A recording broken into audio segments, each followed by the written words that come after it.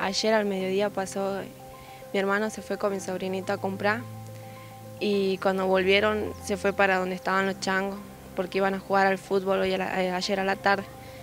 Y en eso que estaban, estaban hablando, vieron un grupo, o sea, al frente donde estaban ellos, vieron un grupo de dos personas que estaban en una moto, que estaban tirando, estaban insultando. Y se estaban agarrando a pelear y vinieron los changos, le dijeron que se retiren porque ellos iban a tener problemas con la policía. Entonces los, eh, los, esos changos fueron y empezaron a insultar.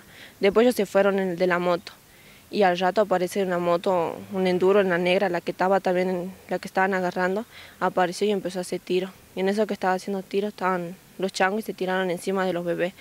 Y ya cuando se tiraron ya fue tarde porque ya la habían calzado el tiro a mi, sobrinito.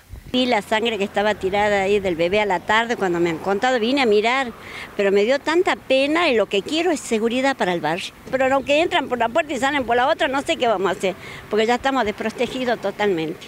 No es, no es normal para nosotros porque fue de repente, no es, no es acá el barrio así.